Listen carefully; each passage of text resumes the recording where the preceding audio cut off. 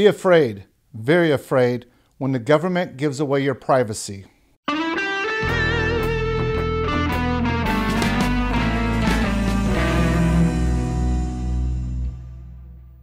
You know, something that you shouldn't keep private are these videos. We're trying to put out a lot of useful content, so please be sure to like, share, and subscribe. Only about 50% of the viewers on these videos are actually subscribed, and as those numbers go up, the more these videos will show. So, Rick, um, we're back here again. I know we've mentioned it in a couple of videos, but uh, it's it's really time to start deep diving into this, and it'll probably happen again soon as these votes go in. But mm-hmm. uh, I'd like to talk about Senate Bill um, 906. Is it uh, right from again. Senator Portantino? Right, and I, I think it's important to understand, you know, what the actual application of the bill is. But before you can do that, you have to understand what the bill is actually asking for. And as far as I can tell, it's really asking for two sep- very separate things. Uh, and and the first of which I'd like to kind of deep dive with you today, if if that if that's something that we can do. The first part uh, would be that uh, parents are required to give information on uh, whether or not they're gun owners. Uh, but not only that, uh, they would be required to offer information on where they are stored and how they are stored. Uh, but even further than that, the student or the, that parent's child would then have to be questioned on his knowledge of the ownership of these firearms and where they're stored and how they're stored. Um, in in my opinion, this is just a huge overreach, but um, we can get into that in a second. And I really want to know what your opinion is on that because uh, I think it's pretty easy. It's pretty easy to get there. Uh, but the the second portion being uh, the actual application of law enforcement, because the second part of this would be giving power to the school administration to decide whether or not they feel like a student is in harm uh, and have the ability to search them and then search the owner's house. But um, I wanted I wanted to really focus on the first part and get your thoughts on uh, the overreach there. Yeah, I think breaking this down, there, there are two distinctly separate parts. You're, you're correct in that. Um, I guess we gotta give Portantino props for once he created a brand new piece of legislation, yeah. and then copy something off that he's done in the Assembly and now in the Senate. Um, having said that's probably the last somewhat positive thing I'll say in this. Uh, let's look first at what we've seen is the deterioration of privacy rights. And I want to point out a couple of small things up here at the front. You know, all this is being done under the guise of public safety, Kevin, trying to make sure that each of us out there um, are protected from bad things happening. And I mean, and who doesn't want to be protected? We all do. But what you have to look at is, you know, when I first got into guns, and I'm obviously older than you, uh, you know, there was no record. I didn't fill out anything when I purchased my first 22 rifle. And even when I went to go into a, an Explorer program in the late 70s um, and bought my first Model 19 Smith & Wesson, there wasn't the paperwork and all the records. And eventually, you know, pistols went under records with the DOJ. There was a lot of um, things said by primarily the National Rifle Association at the time about that. And then, you know, we moved on, and more recently, we added long rifles to that list. And then, you know, just a, legislative season ago, came this wonderful idea of, well, DOJ's done such a great job of keeping that private and secret and not screwing that up, and that's me being a bit sarcastic. Let's give it to the University of California because, you know, grad students never go off the, the wrong side of the thing. Everything's secure at a university. There's never breaches. And of course, we all know None of that's true. But they literally turned it over to everybody. And this had been attempted in other states. Like you can go back and look at when Sean Hannity of Fox News was all in a tangle when they released, hey, he has a CCW, he lives here in New York, and this is how many guns he has. Like that was a huge thing and pushback back there.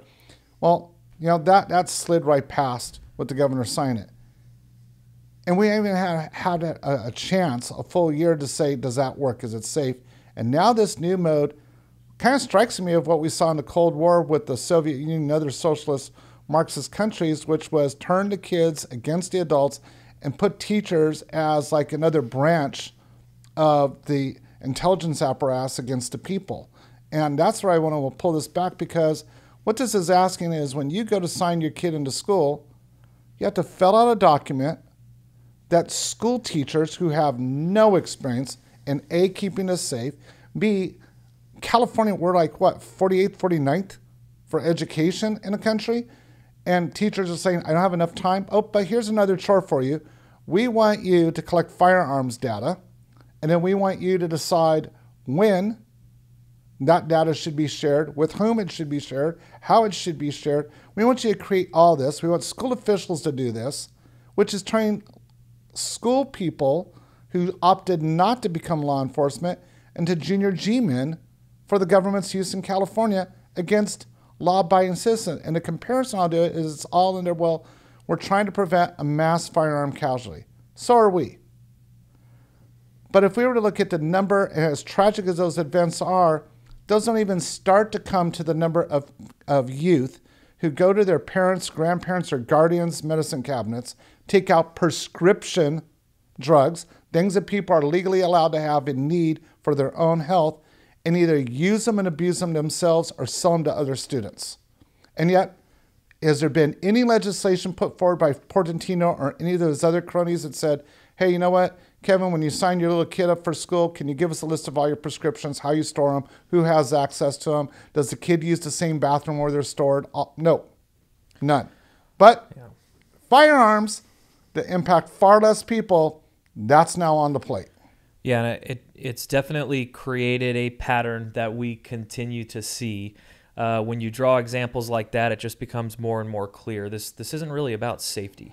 Uh, and it it rarely seems to be. I mean, they can slap the word safety, they can slap the word crime prevention on any bill, uh, but if you actually look at it and and look at what the potential outcomes, or for past bills, what the outcomes actually were, uh, you can see that it's really a pattern in practice of trying to rid citizens of their firearms rights. Well, I mean, something that you said, and I've said in numerous of these um, videos, is like hey, laws are created to fix an existing program.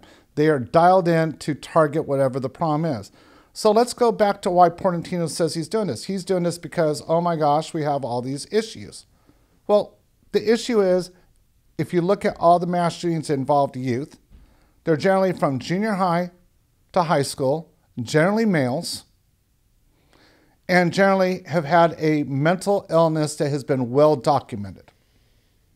That's public knowledge. So why are we having kindergarten teachers? You know, K through six. Hey, let's do that. There's no problem. There hasn't been a problem there. So why are we focusing on them? And then where's the mental health issue? There's not they don't even talk about that. And they never they never do and they never will. And and the actions speak louder than words and they really seem to be okay with the mental illness problem because we don't year after year see any sort uh, of legislation trying to curb that. And uh, alongside that, yeah, I mean, it, it, just it becomes about data gathering. Mm-hmm. Um, people gather data for a reason. Uh, we keep seeing ways that they are gathering it, but they don't really ever come out and tell us the results or tell us why. Uh, I think that we should be highly skeptical uh, when bills like these come up of even their intentions because it's obviously not, like I said, about safety. And I think the other thing you got to look at is it's been part of the public debate through this pandemic that, um, and parents have been uniting across the country on both issues that are Democratic and Republican, and everything in between politically, Kevin, of like, that's not the teacher's responsibility. I mean, and it's a wide breadth of subjects that this has come up on. And, you know, I'm going to go to a famous quote because I think it's just um, part of this. So I'm going to read it from my phone. But it's educations in the school is one, but it's not a substitute for education at home. Let my no father and mother lay to their souls the flattering unction that they can shirk their duties and think that these duties will be performed by the school teacher no matter how good that teacher is. Teddy Roosevelt said that. Said parenting belongs to parents and we're not supposed to throw that on the teachers. Yet that's exactly what this bill will mandate is it will tell teachers you got to be the parent, you got to be the law enforcement officer, you got to be what we're going to see is good teachers leave. Bad teachers that say, "Oh, I get to be a teacher and a cop and a this and a that," will sign up for it. But is that what we really want? No, and I, I honestly, I, I long for a day uh, because we don't have it right now. Uh, like the Teddy Roosevelt days when we have a president who actually understands what the Constitution is. Uh, unfortunately, our president right now doesn't understand the Second Amendment, doesn't understand its application, um, but uh, he obviously did. He understood that personal responsibility uh, is a founding principle of this nation. And, and that's all that we're really asking for here when we oppose a piece of legislation like this. I don't often do this, Kevin, but I'm going to argue with you for once. And here it goes. I think our governor is well documented as thou shalt have nobody else but him and his wife teach their kids.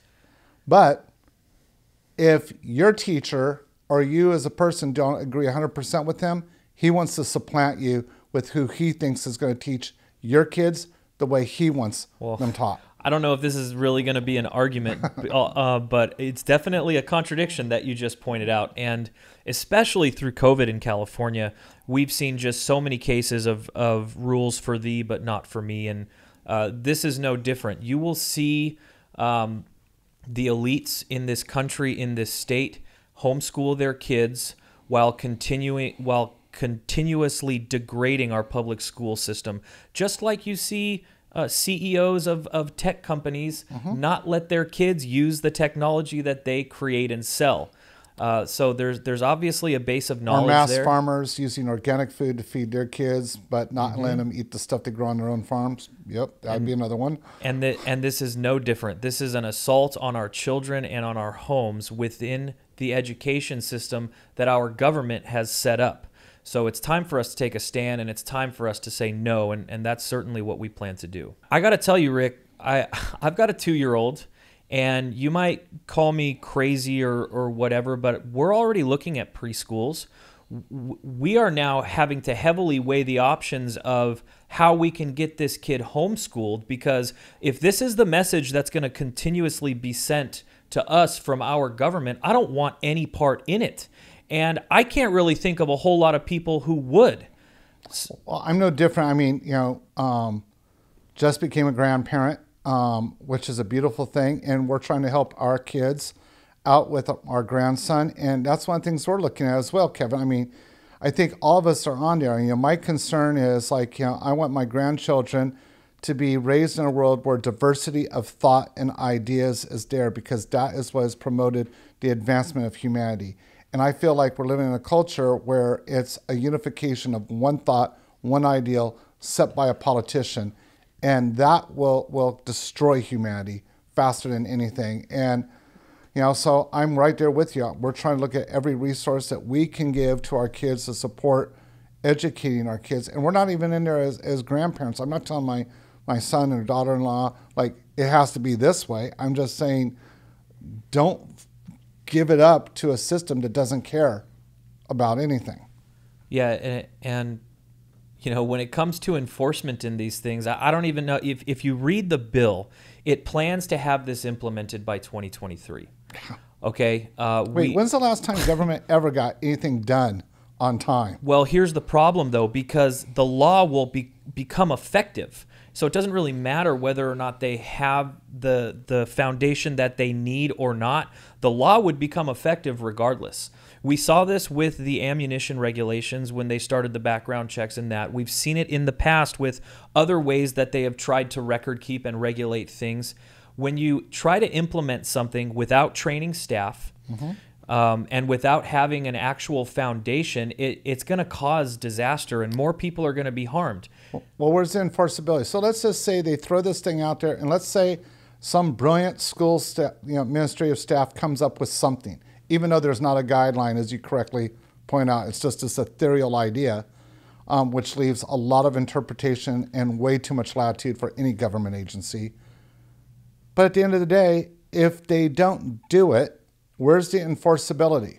And this is what I keep want to harp on. It's like we have all these laws that are allegedly supposed to protect us, but there's no enforceability, and that is being done in a present day where law enforcement agencies are somewhere between 20 and 40% understaffed, depending on the location. So, you know, this is like why people aren't getting stopped at stop signs. You and I were talking earlier before this video, like, you know, if you don't have law enforcement to tell people don't run a something as simple as a stop sign, people are going to do it. And we've even talked about the number of people are doing it. And then that leads to, well, we don't have enough law enforcement to stop people from, you know, smashing store windows. So what's happened? That's one up. We don't have enough people. Now we're going to throw yet another program in there and say enforce this, knowing our legislature fully knowing, because it's not like a hidden secret for many of us, that we already are short law enforcement and we already have rampant crime rates rising in every other category. But you know what? Let's add, let's just put more on the pile and not define it. And and not only that, it, this brings political ideology into school. Mm-hmm. Uh, there's a reason why you are seeing videos going viral at school board meetings uh, right now, and that's because parents are pretty fed up. This does nothing but reinforce that. And mm-hmm. and Rick, what I mean, what is to stop a person who works at a school with a specific political ideology from lying?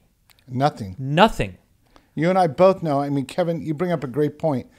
Um, I can think that just on the hunting side of the house, the number of people that are anti-hunting, anti-everything that we've called out for lying, we've called out for plagiarizing.